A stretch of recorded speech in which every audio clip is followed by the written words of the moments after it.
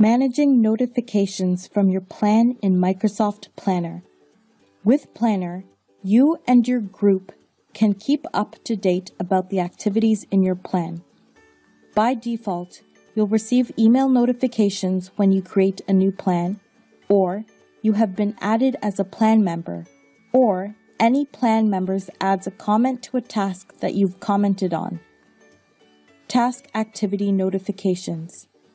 Plan owners can have Planner send a notification to the plan's conversation feed when a task is assigned to someone or when a task is marked as completed. These task activity notifications are off by default for new plans.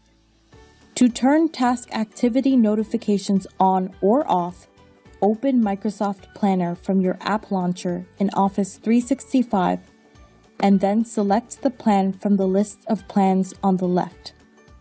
In your plan, select the three dots below the plan's name and then select Edit Plan.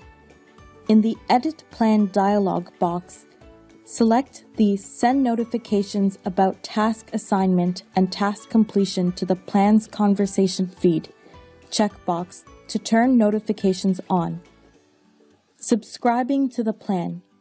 If you want to receive all plan communications in email, you can subscribe to a plan.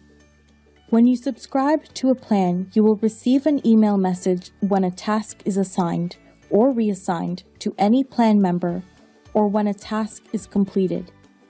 To subscribe, in your plan, select the three dots below the plan's name and then choose Subscribe to Email Updates. Please note that notification settings in Planner are currently limited.